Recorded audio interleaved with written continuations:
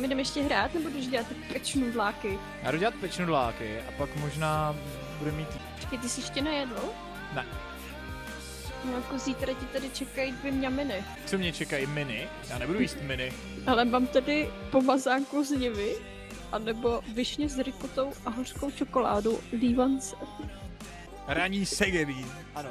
Není nic lepšího, než snídat segerín. Ty si pamatuješ, jak jsem jednou v noci dělala segerin a fakt jsme ho měli k snídani. Jo, pamatuju si to. Štěpánka ve 4 ráno stala v post- z postele něco ve stylu jako musím udělat segerín. A odešla do kuchyně a do 6 do rána dělala segerín. Pak jsem se ráno probudila, měl jsem na snídani segerín. Ale, ale takhle vždycky vařila moje máma. Ona prostě stala ve tři ráno, uvařila obě Ale, a to, a, to, ale to bylo prostě jak když byla Drákula vole z hrobu, aby se tak odkryla ta peřina. Musím udělat segerín. Jo, já, já ano, mi tak k tomu jo, chci říkat ahoj. názory. Třeba co si myslíš o tom, že dosah základních útoků Vajany je z 550 na 500? Já jsem dneska to zkoušela, já to nechápu. Ale to její tornádo je mega rychlý. Díky moc za analýzu. Ne, nebudu. No Nic, já radši nechám. Moje poznatky z LOLka nejsou moc objemné. Náhodou, to bylo super tohle. Jenom A- prostě jsem si všimla, zkusit to potom v, jako eh, v, tre, v, ne, v practice toolu, jak to Johnny tornádo je prostě hrozně rychlý. Jako fakt hodně.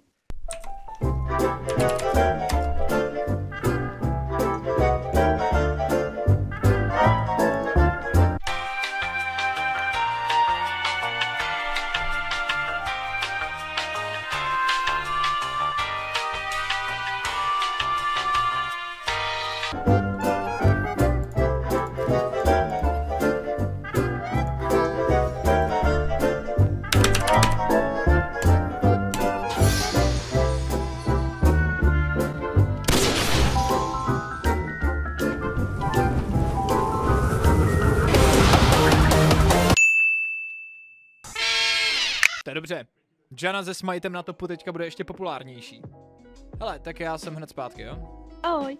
Sound muted. Takže, dobrý večer, já se jmenuji Petr a budu tady dneska vás provázet pečnudlema. Takže, pohodlně se usaďte, doufám, že máte něco pití a nebudeme dávat pauzy během toho, kdybyste měli nějaké otázky.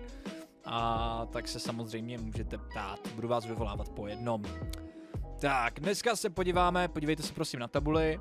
A dneska se podíváme na, na vteřinku a na z- zásadní změny, které Vítej v Brnu! Sanitáře nevyrušuj během vyučování, děkuji. A jinak samozřejmě vítej v Brnu, děkuji moc za... Děkuji moc za Twitch Prime, vítej mezi náma. A máme tady nějaký jako změny, spíš se podíváme takhle. A jo, Máme tady Lulushen, Talonkian a Z Nerfy. Máme tady úpravy na Rengara, Tamkenta, a, nebo Tomkenta respektive. Máme tady Nocturnu, Séňu, Simíra, Veigara, Volibera, Tristánu, Yasua a Yoneho, kteří dostali buff. Máme tady změny systémový a, pro smrtící tempo, neboli Lidl tempo, a chemotechnický žleb a duše, magitechnická duše, zhouba lichů a Relajino křišťálové železo. A pak tady máme nějaký skini. Skřadlá růže Zery, ta už je ve hře, takže pokud jste neviděli Zery, tak video, jak testujeme Zery a ukazujeme si s ní 10 000 movement speed, máme na našem YouTube kanále.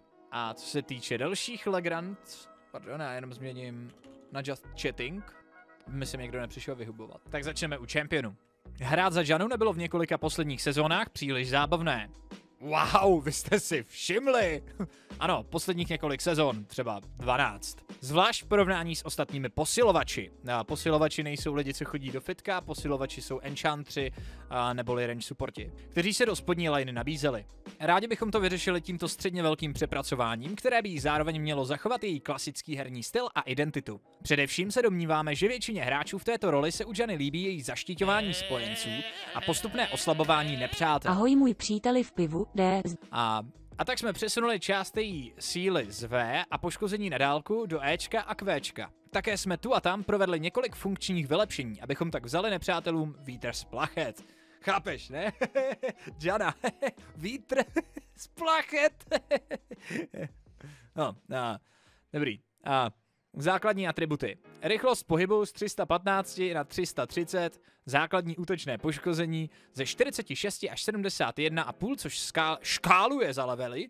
Je to na 52 až 103?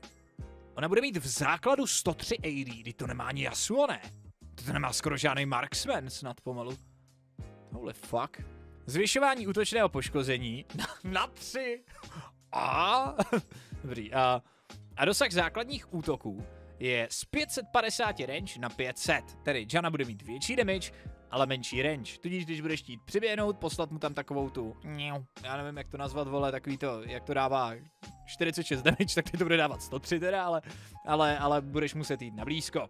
Pasivní schopnost. Vítr v zádech, což také bylo součástí našeho rebusu, který jsme měli pro Freeze, by the way. Jo, málo kdo věděl, jak se tady ten spell jmenoval. My jsme totiž jako, uh, když, jsme, když jsme dělali hádanku, abyste uhodli, uh, co je to za příběh hráče, tak tam byl obrázek tady těchto těch nohou. Vítr v zádech. Zana, zí... Z, Zana. Mm. Jana získává 8% k rychlosti pohybu, který působí jen při přesunu ke spojeneckým šampionům. Bonus k rychlosti pohybu pro spojence, kteří se přesouvají směrem k Janě, zůstal nezměněn. Jinými slovy, když Jana poběží uh, pomoct ti a dát ti štít a healnout tě, tak poběží rychleji. Moment, kdy se na tebe vysere a bude utíkat od fightu dál, řvát každý za sebe a nechá tě tam chcípnout, tak bude pomalejší a chcípne pak taky. Rychle a zběsile je odstraněno, což Fast and Furious byla její původní část pasivky. Janiny základní útoky a V už nespůsobují bonusové magické poškození, které se odvíjejí od její bonusové rychlosti pohybu. Tak, kvílející vítr. Janiny větry a teďka budou mít jiný mana kost. Konkrétně bude stát jenom 100 many, to znamená, že Jana samozřejmě bude moct používat svoje větry na soupeře častěji. Minimální dosah je zvýšen o 1100 a maximální dosah až na 1760, tedy o 10. Nevím, co si tím slibujou, že tam přidají desítku, protože to reálně ani nepoznáš. Doba pro doražení do cíle je z 1,5 sekundy 1,25, což na první pohled nemusí působit jako úplně moc velký rozdíl, ale jenom bych vám rád připomenul, že ten range, na který to letí, je delší. To znamená, že to poletí kratší dobu, ale dál. Kratší dobu o 0,25 vteřiny, ale jak Štěpánka sama říkala, pokud hrajete lolko hodně, tak je mi vás za prvé líto a za druhé jste zvyklí na to, že ty spely mají určitý timer. Představ si, kdyby přidali k délce zonie třeba 0,2 vteřiny. Kámo, tolik mysnutých skillshotů během prvního týdne bys neviděl v té hře. Prostě máš něco už jako v muscle memory, pamatuješ si to, zhruba víš, jak to natajmovat, a teď najednou to bude o 0,25 sekundy jiný, jo, a je to prostě změna najednou, úplně mozek ti říká, vole, kamo, kurva, vole, co spěl, vole, co se děje, no hajzlu, to je moc rychlý, jo, a, ale ve výsledku je to jenom 0,25 vteřiny. Tak, a V, Vánek. Dosah z 550 od kraje ke kraji na 650 od středu. To je hodně divně napsaný. A pokud to chápu správně, tak range na dvojitý V bude výrazně větší. Trvání zpomalení. Už nebude dvě vteřiny, ale tři. Avšak cooldown bude 12 vteřin, což je dlouho. Dvojnásobný cooldown v podstatě. Po vymaxování. Jo, tohle to je, začínal jsi na 8 vteřinách a po vymaxování si měl 6, teď budeš mít 12 furt. Tohle to je velký nerv na cooldown na Včko. Základní poškození 55 až 175 jde na 70 až 190, to znamená jasně výrazně větší cooldown, trochu větší damage. Bonus k rychlosti pohybu je tam ale znovu zvýšený pro Janu, to znamená zase jí kompenzují to, co jí ze začátku trochu brali. Ečko a její nejdůležitější spell, jediný důvod, proč se historicky kdy hrála Jana, aby mohla dát štít a nic nedělat. Uh, Jana byla OG Yumi ještě předtím, než bylo cool hrát čempy, který nemusí moc dělat. A dokonce bych si troufl tvrdit, že vole Yumi má možná víc práce než Jana, když na to přijde, protože Jana se historicky vždycky hrála hlavně kvůli tomu štítu a všechno ostatní bylo docela whatever. Samozřejmě oni se to snaží udělat ten kit zábavnější, tak aby ta Jana měla větší hodnotu i v rámci ostatních spelů a celého kitu, ale sami tady přiznávají, že všechny baví používat Qčko a Ečko, no jasně, protože jedním dáš nokap klidně na pět lidí a je to sranda sledovat, jak se to tam kástí a druhým prostě seš broken. Jeden spell je silný a druhý je zábavný. Přiznaná předpověď. Automaticky. Kdykoliv Janiny schopnosti zpomalí nebo vyhodí do vzduchu alespoň jednoho nepřátelského šampiona, přebíjecí doba Ečka obdrží na 5 sekund plus 20% k síle léčení a štítů. Počkej, co?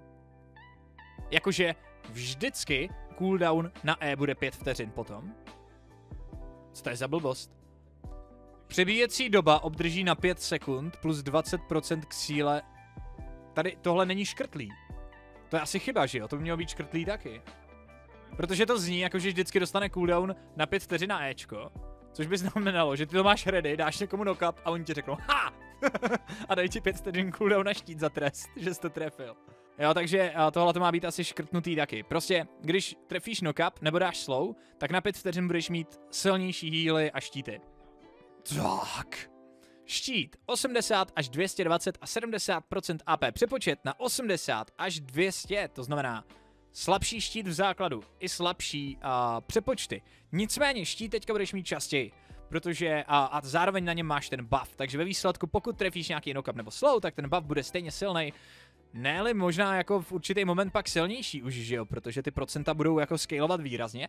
No a pochopitelně, tím pádem taky můžeme mluvit o tom, že ta přebíjecí doba je hodně sympatická pro tu Janu, protože z začátku ona to maxuje, že jo, nebo snaží se většinou, a máš tam 9 vteřin místo 12, to je 3 vteřiny rozdíl. A kolikrát ti umřel tvůj vole marksman, který rundownul team fight, protože jsi neměl ready Ečko, že Začátek rozpadání štítu po uplynutí je navíc o půl vteřiny posunutý dál. To znamená, že celkově celý ten štít prostě ve výsledku bude silnější. A ne, že nebude. Bude. Tak, Monzun, neboli ultimátka. Frekvence aktivace léčení, což je taková ta vlna toho, je každých 0,25 vteřiny, což je lepší, protože například, když začne a působit, a působit healing redukce, tak je pravděpodobnost, že ještě jedna část toho healingu tam stihne jak kdyby proběhnout v plné výši před redukcí. Jo a další tady tyhle ty věci. Prostě menší šance je ti ten target chcípne. Tak, plus tam má samozřejmě ten buff ještě na to. Tudíž Jana, tohleto by vypadá, že by mohl být jako způsob, jak ji vrátit do hry. Uvidíme, třeba bude silná teď. Tak, Lulu. Včko, rozmar. Přebíjecí doba z 16 až 12 vteřin na 17 až 13. Jedna vteřina navíc jí rozhodně neuškodí, Lulu je hodně silný support solo queue. Nocturna s máslem se salámem. Zvyšování zdraví o 10 HP víc, protože jeho base staty nejsou moc dobří. Dobří, vole. Dobrý a Duskbringer, neboli to kvéčko, dostane o 10% větší přepočet, protože Nocturne teďka po všech těch nerfech začal trochu odpadat a tohle by mu mohlo pomoct navrátit se do jungle. Kiana už ji odstranili konečně? Ne, škoda. Ale snad brzo. A základní regenerace zdraví 7,5 až 6. A ostří x stalu, i stalu, nebo jak se to čte, životnost tesky strávy 3,5 vteřiny na 3. To znamená, když hodí ten keřík a bude ve steltu, tak bude ve steltu o půl vteřiny méně. Jinými slovy to znamená, že Kiana teď bude mít docela problém držet takový ten permastelt. Už to úplně nepůjde. Už to úplně nepůjde. Nebude to takový to, že jsi schovaný ve steltu a hnedka znova a hnedka znova a hnedka znova. Už hol tam bude mít půl vteřiny prodlevu. Ale damage bude mít furt stejný, takže ta je to stejná. Tak, pojďme na Rangara. Pasivní složka R nyní umožňuje provádět skok při působení kamufláže. To nevím, co znamená, rád si to přečtu. Na to, že je tenhle bojovný kocourek primárně jungler, se mu v chemotechnickém žlebu vůbec nedařilo. Není sice jediný, kdo se potýká s problémy, ale rozhodně utrpěl ze všech nejvíc. Jelikož většina jeho síly se odvíjí od pasivní interakce s křovím, odstranění 12 pozic se na něm proto tvrdě podepsalo, a to nejen při farmení, ale vlastně napříč celým herním systémem. Dáváme mu proto novou možnost, jak číhat na svou kořist a vrhat se na ně, tak se ukaž kočičáku. Mějte na paměti, že tento pasivní efekt je spojený s jeho R a začne působit teprve, když do ultimátky investuje první bod. Zrušení zlovu, skok ze zálohy. Automaticky. Rengar může při svém příštím základním útoku skočit na nepřátele, také když je kamuflovaný. Není Duskblade kamufláž, že ne? Zase na E skáče. OK. Dobrý. Já jsem se jenom lekl, protože kdyby náhodou jako byl Duskblade. Na Duskblade to nefunguje, díky bohu, ty vole. Jsem málem odinstaloval League of Legends už. Jako, že by Rengar dal někomu IKčko, dal ho to do steltu a on z něj znova mohl skákat, tak to bych fakt jako ne- nepřežil asi.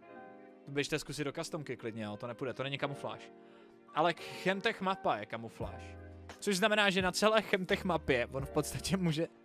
Je pičo.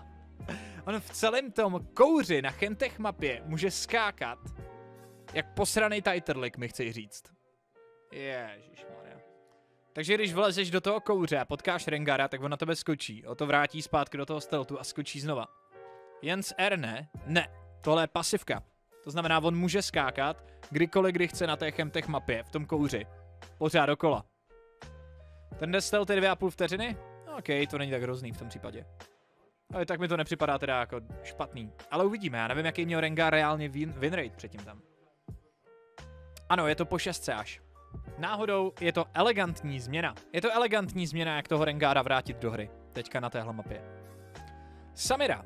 Vzhledem k oslabení štítového luku je Samiřin přechod do střední fáze zápasu méně spolehlivý. Můžeme tedy mírně zvýšit základní potenciál jejího R, aby mohla stylově spouštět lavinový efekt. Pekelná spoušť neboli Infernal Trigger. Fyzické poškození za každou střelu z 0 až 20 na 5 až 25 plus 50% útočného poškození. 500 pak zůstává stejný. Je tady 50 bonus damage v early game, dalších uh, 50 potom v mid game a 50 zůstává i v late game. To znamená, ten značný cíl, uh, značný buff tam určitě je v základu. Samira bude dávat větší damage i bez itemů teďka. Jo. Séňa. Séňa je v této sezóně celkem slabá. Obzvlášť při investování do poškození. Klíčovou roli u tohoto herního stylu zastávalo ledovcové vylepšení. Ale jelikož to jej, s jejími základními útoky již se neaktivuje, přidáváme jí do sady výraznější funkční podporu. Ostrá temnota. Zhoršená viditelnost. Nyní zpomaluje všechny zasažené nepřátele na 2 sekundy o 20%, plus 6% za každých 100 bodů síly schopností, 10% za každých 100 bodů bonusového útočného poškození. Takže na kvéčku má Sena ode dneška slow. Wow. Wow. Hledá se Sena. Nebezpečná. Shen. Q způsobuje nižší poškození. Po změnách, které jsme provedli ve verzi 12.1 u teleportu, se Shena stal opět král vlivu na mapu z horní liny. Abychom nastolili rovnováhu, na místo omezování jeho síly související s putováním po mapě mu radši snižujeme poškození při duelech. Jedinečné globální zasahování do bojů tak i nadále zůstává jeho nejsilnější pomůckou. Soumračný útok bude mít místo 40, a pardon, 10 až 40 plus tady nějaký procenta, bude mít 10 až 40 plus menší procenta. Z maximálního zdraví cíle, to znamená, Shen bude dávat plus minus stejný damage do targetů, který nemají zas tak moc životů, ale do tanků bude mít menší damage. Tak jo, pojďme se podívat na Tom Kenta. Asi 69. rework Tam Kenche, který, vole, kdy proběhl. Q způsobuje výraznější zpomalení. E bylo upraveno a převod poškození do šedého zdraví je méně výrazný. Kromě případů, kdy se v okolí nachází více nepřátel. Štít pro spojence s R je silnější a schopnost nyní po spolknutí spojence poskytuje bonus k rychlosti. V aktualizaci jsme provedli menší přepracování Tamkenchovy sady, jelikož jeho stará verze mu při vysoce koordinované týmové hře poskytovala ohromné výhody. Naším cílem tehdy bylo snížit v profi zápasech jeho prioritu pro výběry a zákazy a zároveň ho upravit tak, aby měl zábavný herní systém a rozumný poměr výher v obou svých rolích. Historicky byl jeho poměr výher v horní lajně vyšší než v roli podpory. Z hlediska profi zápasů si jeho nová podoba vede nadmíru dobře, protože v nich už nemá zdaleka takovou prioritu jako dříve. Co se poměru výher týče, rozdíl mezi jeho schopnostmi horního lajnaře a podpory se nějak dramaticky nezměnil, jen se ještě zvýraznil. Hráči ve spodní léně tak mohou mít celkem oprávněný pocit, že na roli podpory už tam Kench nestačí. Nějakou dobu jsme proto souběh těchto jeho efektů pozorovali a nyní jsme připraveni provést riskantnější manévr, při kterém posílíme podpůrného Kenche a naopak oslabíme toho v horní léně, aby tam netropil žádnou neplechu. Takže švihnutí jazykem. Zpomalení nepřítele jde na 50%. A Ečko tlustá kůže. Míra poškození uloženého do šedé zdraví 45 až 65 na 15 až 55. Tedy úplně na hovno Ferligy. Počkej, co? Zvýšeno na 45 až 65, pokud se v okolí nacházejí alespoň dva viditelní nepřátelští šampioni. Mrtví nebo živí. Oni na něj hrabou jak na pajka podobně. Množství zdraví obnoveného šedého zdraví 30 až 100% na 45 až 100. Obří jsou 100. Štít pro spojence po použití obřího sousta 400 až 600 plus 100% AP na 500 až 900!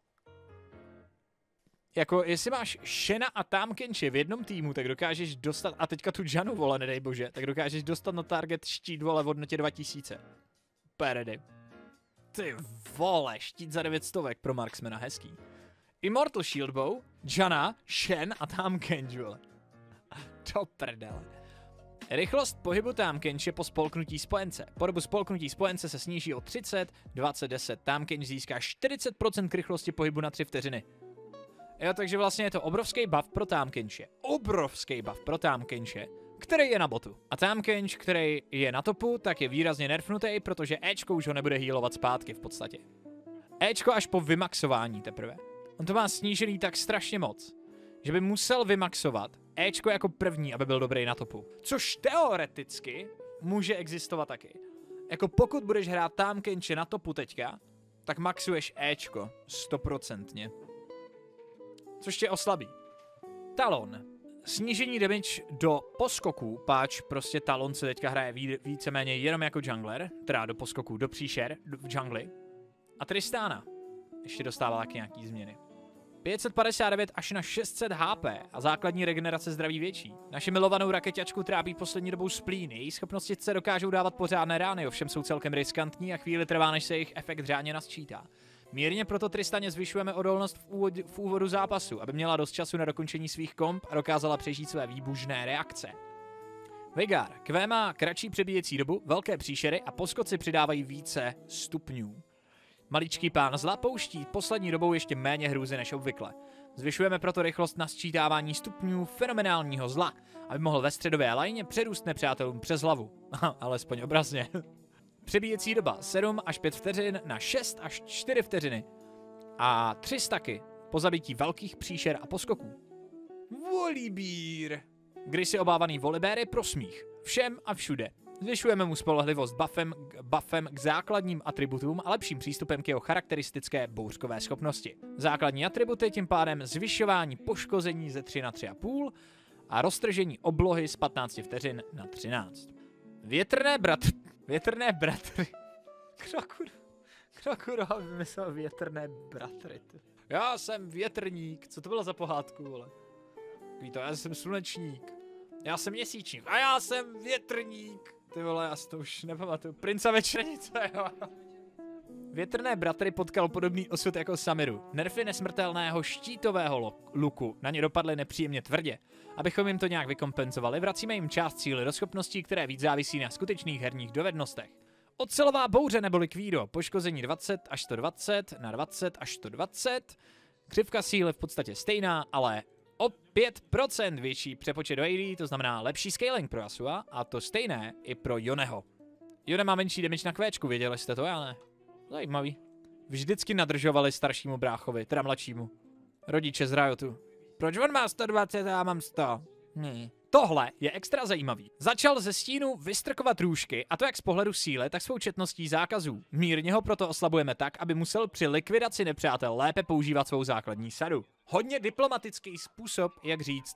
Z se pikuje a banuje až moc často, protože jeho kit má tak zvláštní trade pattern, že většina hráčů, co ho nahraje, neví, jak proti němu hrát. Z toho důvodu to hodně frustruje, moc se mu daří, anebo lidi hodně banujou a tak jsme se rozhodli, že než tenhle problém dokážeme zanalizovat a navrhnout řešení, který ze zeda udělá docela dobrýho čempiona, tak ho hold odstraníme ze hry, protože to se přesně děje. Znamení smrti neboli deathmark, poškození. 100% útočného poškození sníženo na 65. 65% místo 100%. Účko má skoro poloviční přepočet základního, nebo overall útočního poškození, ani ne základního. To je hrozný rozdíl. To je fakt strašně moc. Jako ono stejně, když potrefuješ spely, tak ten přepočet poškození způsobené označenému cíli je stejné, ale ta deathmark sama o sobě nebude dávat nic. Ne, jako, samozřejmě to není odstranění zeda ze hry, ale je to fakt velký nerv. Ono se to nezdá. Ono to vypadá, že ne. Protože si říkáš, základní damage deathmark bez toho přídavného damage není tak velký, ale na těch pozdějších rancích docela je. Docela je. On to bude jako velký rozdíl. On to bude velký rozdíl. Přesně ty Immortal Shield Bowie a Shen Účka a podobně, tak ti tam prostě bude chybět třeba těch 200 damage potom. No, klidně 200 potom možná. Jo, tak kdy, když v late game máš třeba 400 AD, jo, tak si ti do toho šlo bonusově 400 AD, tak teďka ti prostě půjde jenom 65% z toho, no, jako, tak přijdeš o 150 damage třeba na účku, jako, nebo něco takového klidně. Což je dost v lateu prostě. Nevím, já jsem zastánce toho, že Z není broken, jenom lidi proti němu vlastně neumí hrát, jako kdyby ten champ má, ne, ne nechci, děkuju, ten champ má tak divný trade pattern, že víceméně, jak kdyby podle mě Z není broken. Ani nikdy v podstatě, jo, byl, byl. Bylo období, kdy byl, ale už strašně moc let není.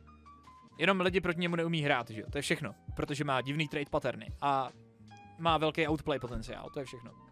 Tak, z Houbalichu, eh, neboli Lichbane, což je spell, který, teda item, o kterém jsem vám opakovaně říkal, že je tak strašně k hovnu, že ho nemáte nikdy na nikoho stavět, tak teď konečně přichází změny. Na začátku sezóny 2021 jsme přepracovali z houbu lichů tak, aby se rozšířila množina jejich uživatelů. Pro tento účel jsme jí odebrali zrychlení schopností a naopak zvýšili poškození a přebíjecí dobu čarovné čepele. Tyto změny z ní učinili účinný nástroj pro způsobení nárazového poškození, ale i to jsme v průběhu roku několikrát nerfli. Ve výsledku nedokázala zhouba lichu nabídnout svým hlavním uživatelům, já vám děkuji velmi pěkně, pane Čišníku. A já mám ještě Birela, už tak potom, ale díky moc Tyto změny z ní udělaly a bla, bla, bla, bla, bla, bla, bla, špatně. Ve výsledku nedokázala zhouba lichů nabídnout svým hlavním uživatelům dostatek síly. Dostatečně proto dřívější změny rušíme, abychom ji vrátili do dobré kondice. Takže vrací původní Lichbane. Ability Haste 15, menší základní AD, to znamená, kdyby základní damage z Lichbane je menší, nevyplatí se tím pádem stavět v early game, ale máš větší damage z toho itemu a z AP potom a má menší cooldown tak je vtipný, že když zakryješ za, tak máš houba lichu. tak, Relajnino křišťálové žezlo. Neboli, neboli Relay Crystal Scepter. Žezlu se několika v posledních sezónách příliš nedaří se prosadit, jelikož se snaží posloužit zároveň odolným bojovým mágům, mágům s nárazovým poškozením i podporám se silou schopností. Rozhodli jsme se tady soustředit jeho využití jen do podoby pomocného předmětu. Snížili jsme jeho cenu a zvýšili zdraví, aby se hodilo podporám a odolnějším mágům se středním dosahem. Cena kombinace a je menší, tím pádem celá relajka bude levnější o 400, síla schopnosti ale bude o 15 menší a bude tam víc HP. Relajka je teda čím dál tím míň item pro AP carries, ale víc a víc item například pro supporty. Pro Brenda, fantastický item, že jo? Pro Zyru, Broken, jo? Pro tady tyhle ty čempiony, to je úplně hrozně dobrý. Pro, pro Sinjeda je to skvělý. Blesková chemonádrž. Aktualizace bleskové chemonádrže, kterou jsme provedli během předsezóny 2022, měla tankům specializovaným na přepady a zahajování bojů umožnit navíc si pohybem jeden nahromážděný šlech rychlosti pro okamžiky, kdy ho skutečně potřebují. Ovšem efekt doplnění se nasčítával až, do, až moc, až příliš dobře, pardon, pomocí přeběhů, takže se ho jako zdroj poškození začali brát i šampioni z ostatních tříd. Nevím, o čem to... Nevím, o čem to mluvíte. Sice si té kreativity ceníme, ale tankovat do bleskové, nád... bleskové chemonádrže by měly jen tankové. Tak je to do prdele. Takže omezujeme způsob nasčítávání stupňů pasivního efektu.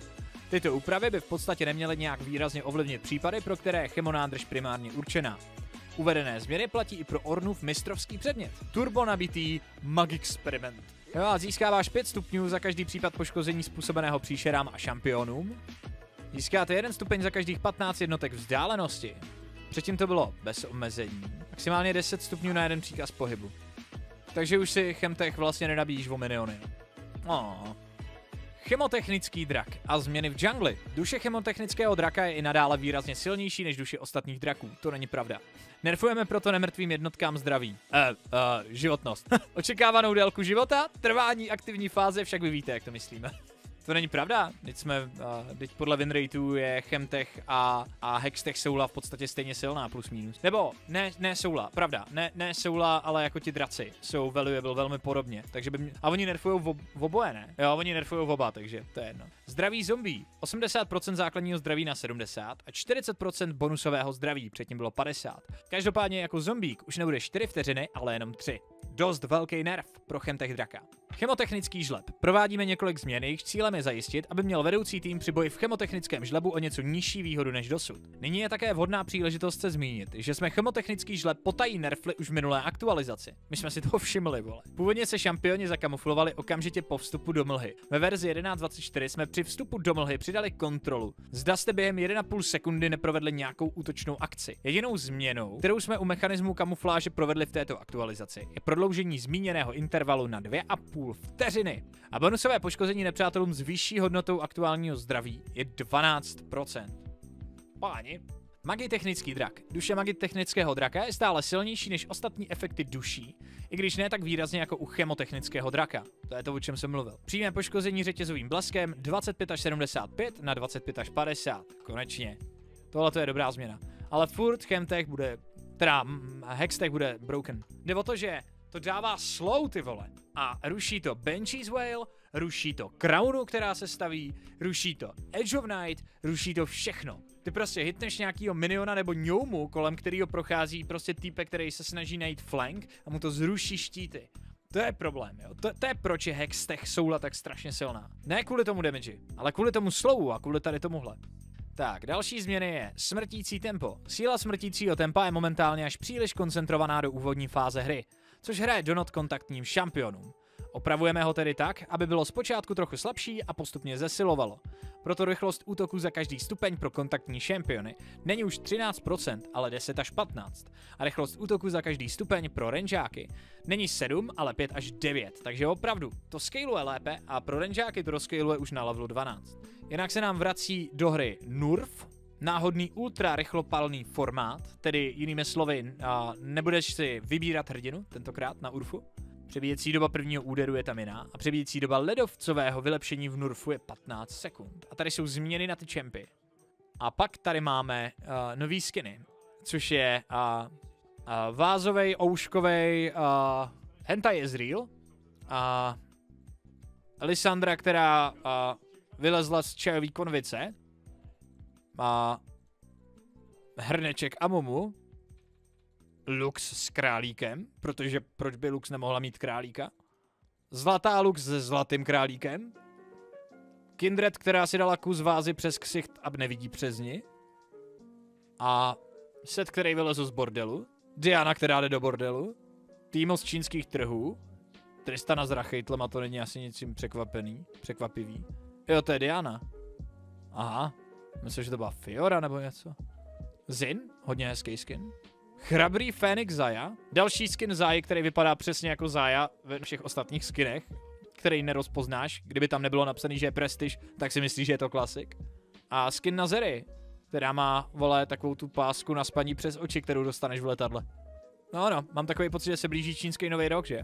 Tak a vzhledem k tomu, že nám přijelo jídlo, tak si jdu zahrát DFT.